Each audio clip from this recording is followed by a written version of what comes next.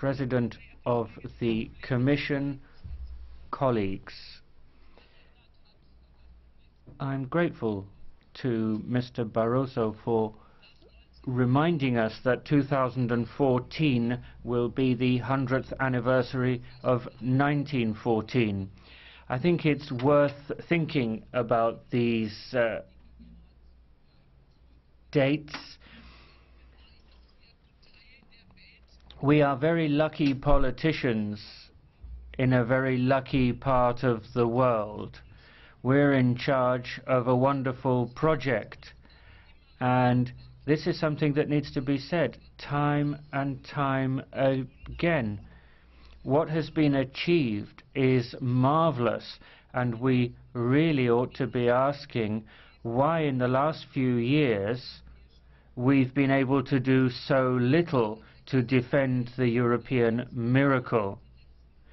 In particular, in the last five years, we've seen more and more EU citizens seeing the EU as a problem rather than as part of the solution. The previous speakers, Swoboda and Verhofstadt included, have said that the policy to deal with the crisis has not helped us come out of the crisis. In many parts of the European Union, the, the anti-crisis policy has only generated uh, misery and gloom.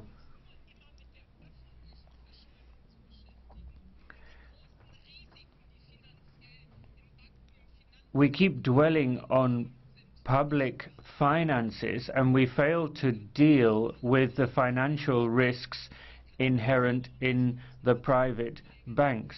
On the banking union, I can only second Mr. Verhofstadt. We need to have the banking union, otherwise we won't have dealt with the causes of the crisis.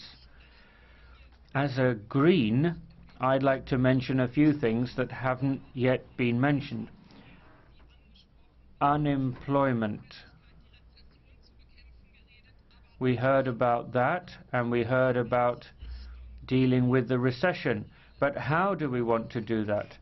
What kind of industrial and economic recovery do we want?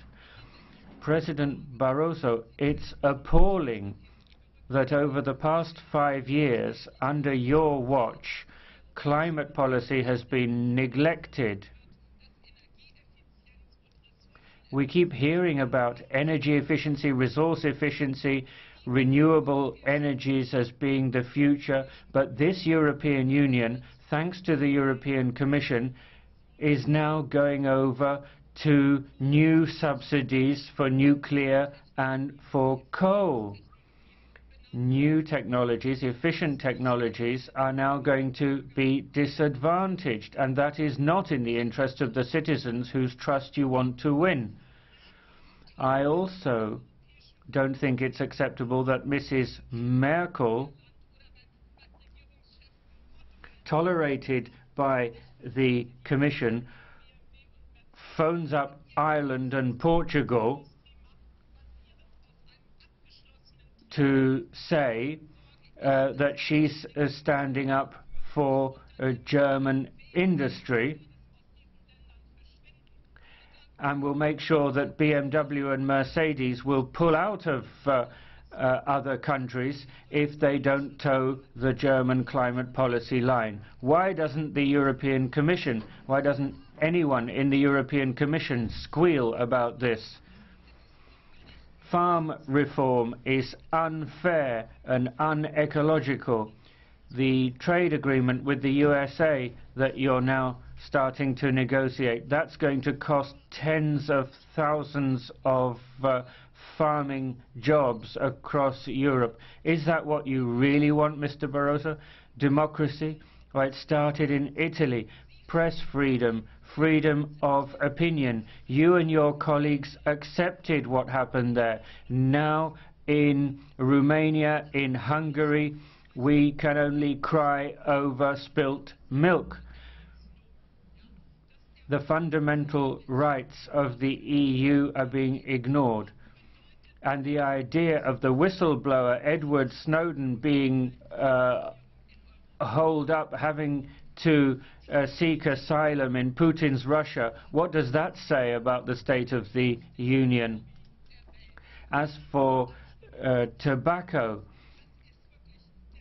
and the most powerful uh, lobby in the world postponing uh, that uh, vote postponing that vote is a, a terrible uh, scourge on the good name of this parliament. On Syria, I am relieved that uh, diplomacy has now been given a chance. The refugee disaster that we are jointly responsible for for months, for years, that has been exacerbated by Syria, that is a disgrace. You can make Europe better, Mr. Barroso. You could have made Europe better. You can win people's trust by pursuing different policy.